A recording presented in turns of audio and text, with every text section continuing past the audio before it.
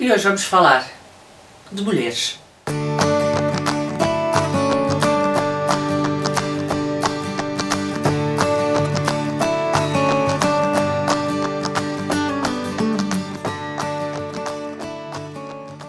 Olá, eu sou Maria João do Livros Gosto e eu estou aqui para te falar do livro Até Quando, da Patrícia Madeira. Primeiro de tudo eu quero agradecer à Patrícia e à Cultura o facto de me terem enviado este livro, muito obrigada. E como vocês sabem, quem esteve na apresentação dia 8, fui eu que fui apresentar este livro com muita honra à FNAC uh, do Almada Fórum, este novo livro da Patrícia. É a segunda livro da Patrícia que eu apresento e é sempre com muito orgulho que eu apresento uh, os livros da Patrícia, pessoa de quem eu gosto muito. Mas eu hoje não estou aqui para falar da minha amiga Patrícia Madeira. Estou aqui para vos falar da escritora Patrícia Madeira. E este livro para mim foi o livro que a tornou escritora. E eu passo a explicar. Até agora a Patrícia deu-nos dois livros fantásticos da Prisioneira do Tempo, no mesmo registro. Ou seja, ela lança A Prisioneira do Tempo, o, o, o primeiro volume, e depois dá-nos a sequência da história da Manuela e do Francisco. E está tudo bem, estávamos todos apaixonados pela Manuela e pelo Francisco e a Patrícia demonstrou que era exímia a escrever um romance histórico. O que ela nos apresenta aqui é outra escritora, outra Patrícia Madeira. É uma Patrícia Madeira de um romance contemporâneo, é uma Patrícia Madeira de um romance moderno do século XXI. E deixem que vos diga que isso, enquanto uh, youtuber, uh, agradou-me, enquanto amiga, encheu-me de orgulho de perceber que a Patrícia não se cingia a um estilo, mas sim era uma escritora que sabe escrever, é aquilo que eu chamo uma escritora e que sabe ser versátil nos diferentes estilos. A Patrícia traz-nos aqui uh, e eu peço desculpa a quem esteve na apresentação do livro que vai eh, achar isto um bocadinho repetitivo, mas a verdade é que o livro é o mesmo, eu sou a mesma e portanto as opiniões são obviamente também as mesmas. A Patrícia traz-nos aqui a história de nove mulheres.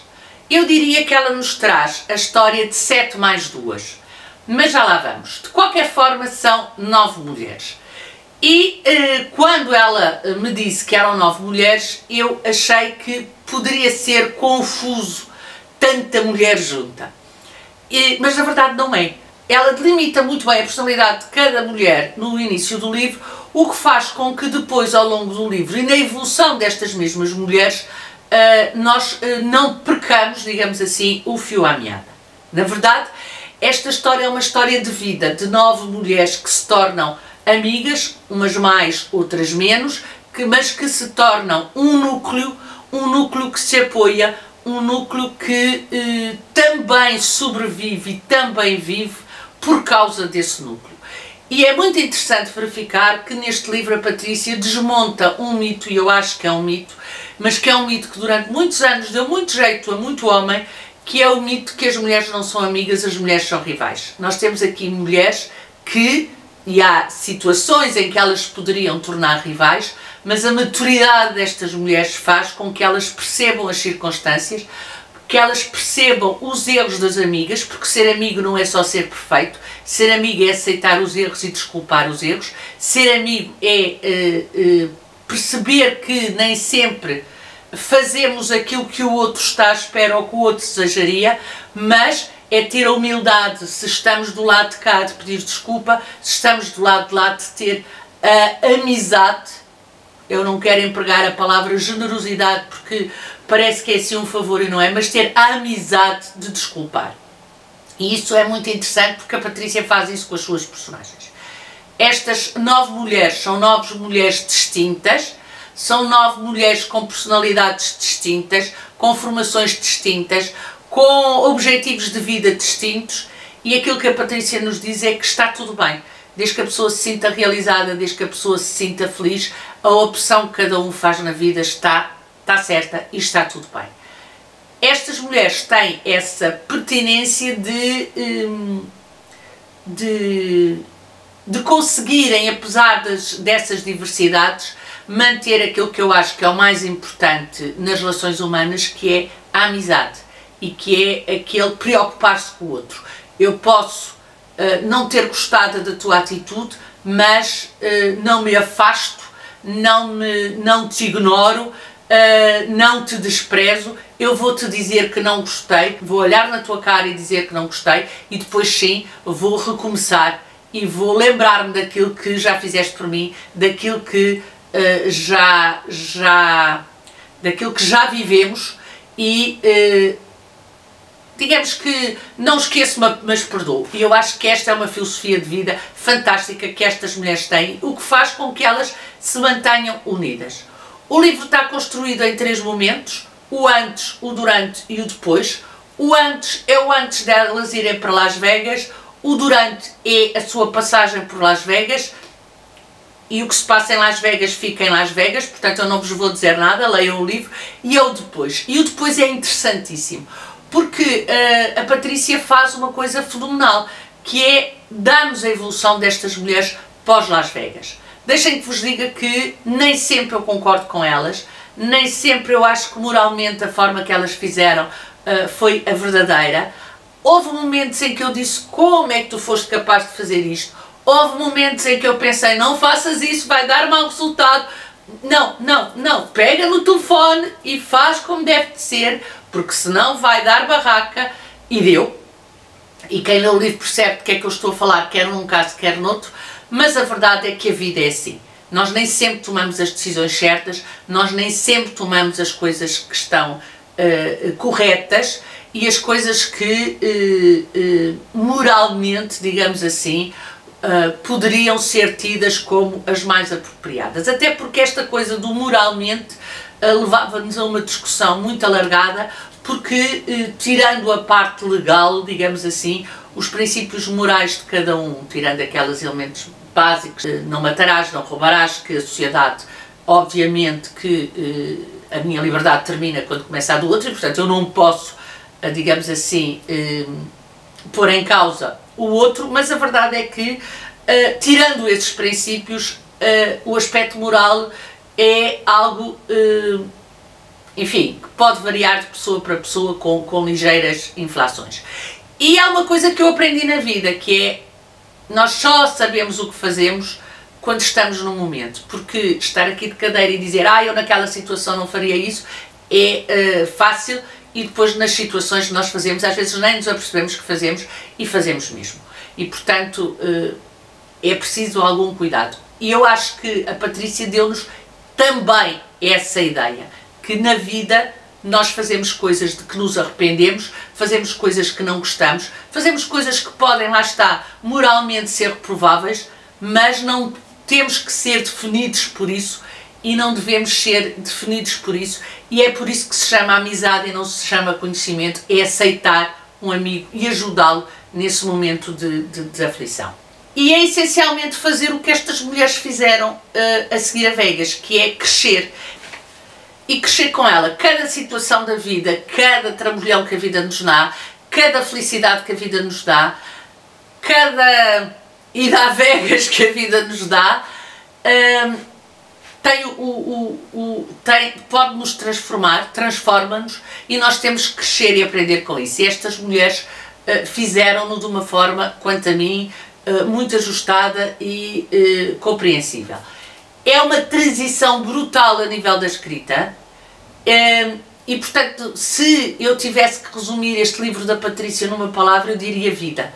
Porque estas mulheres são nove mulheres que podem ser a nossa vizinha do lado, podem ser as nossas amigas, podem ser, bom, uma série de pessoas que são, ehm, que são plausível de nós encontrarmos uh, no metro, uh, a beber o café ao nosso lado, a, ler um livro que na mesa ao lado ao qual nós espreitamos, portanto são pessoas que nós poderíamos encontrar na vida.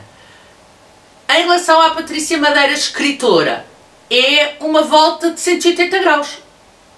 Portanto, não é 360 porque ela não volta ao mesmo sítio, é mesmo vir para os antípodas da, uh, da Prisioneira do Tempo. E aí eu acho que os leitores da Patrícia vão ficar surpreendidos porque uh, uh, nota-se que, que, que, temos a Patrícia por trás, nota-se a seriedade do seu trabalho por trás, mas é outra coisa. até porque este livro é muito mais moderno, muito mais contemporâneo, portanto, a própria forma de escrever tem que ser diferente, assim o exige. A prisioneira do tempo ela tem que ter cuidado com o rigor histórico, tem que ter cuidado com as palavras que ainda não existiam na época, tem que ter cuidado com os elementos que não existiam na época. Aqui nós temos uma Patrícia Madeira moderna, uma Patrícia Madeira muito mais oralizante, se quiserem, com um discurso muito mais oralizante, mas ao mesmo tempo uma Patrícia Madeira também muito consistente, que escreve muitíssimo bem. E se querem, como eu comecei este vídeo, é uma afirmação da Patrícia enquanto escritora.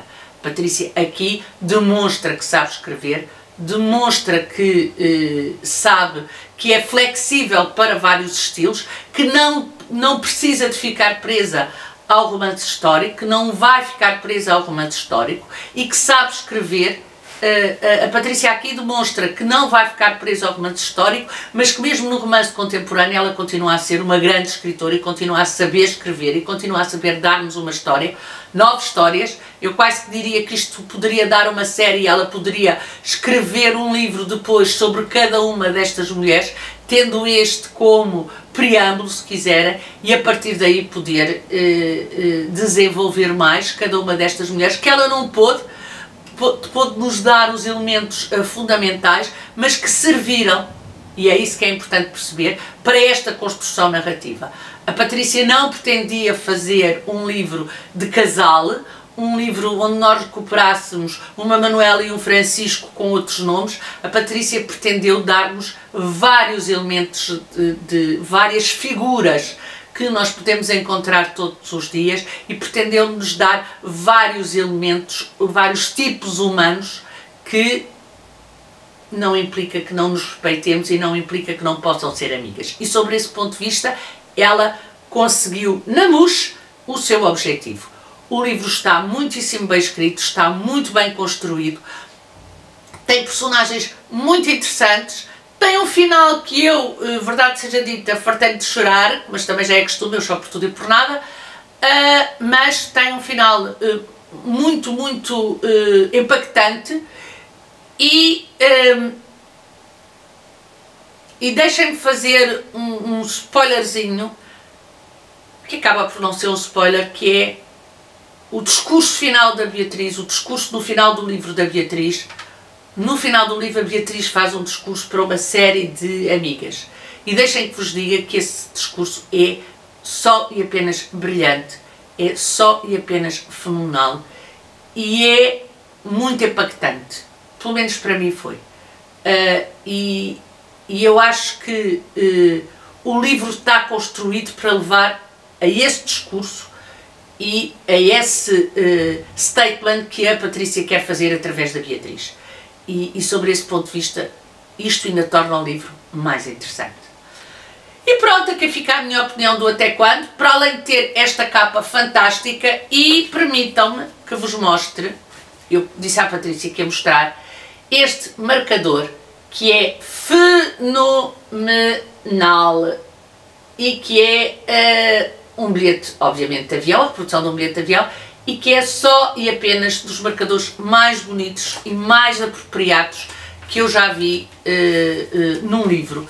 É, é, um marcador fantástico, esta capa está fenomenal e curiosamente vocês dirão, então e Vegas? Toda a gente fala da parte de Vegas e a Maria João não está a falar de, da parte de Vegas.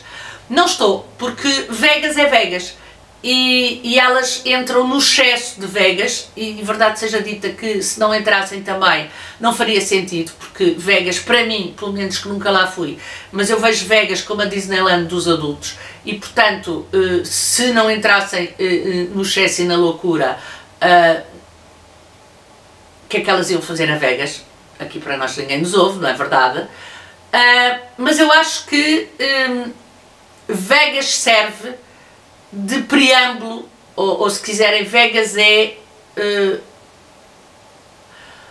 Vegas é o alicerce, é a cola para que estas mulheres se tornem, porque algumas conheciam-se mal, para que estas mulheres se tornem na realidade uh, uh, um núcleo duro, para, para que estas mulheres alarguem o seu núcleo duro e se tornem nas nove amigas que nós conhecemos no final do livro. Vegas é é o local onde elas têm que provar que são amigas, é o local onde elas têm que eh, perceber que se calhar houve coisas demasiadamente excessivas, mas que isso não implica que não se proteja, não implica que não se dê a mão, não implica que não se ajude, mesmo que depois a seguir se diga como é que tu foste capaz, parece que davas parva, é perfeitamente louco, mas no momento é preciso perceber que uh, alguém que é nosso amigo uh, fez uma coisa errada, mas não precisa de ser crucificado por causa disso, muito menos por nós. Uh, para mim, os amigos são aqueles que, fazendo coisas bem feitas ou mal feitas, eu hei de estar lá sempre, hei de estar num momento bom, hei de estar num momento mau, principalmente num momento mau, e só depois então eu direi, não gostei, eh, não voltes a fazer, eh, mas uh, a um amigo não se fecha a porta. E essas mulheres fazem isso em Vegas, fazem isso em Lisboa, fazem isso ao longo desta história e isso é muito importante. Até quando? Bom, eu acho que, sendo amigas como elas são, até sempre. Eu acho que sendo amigas como elas são, até ao final dos seus dias.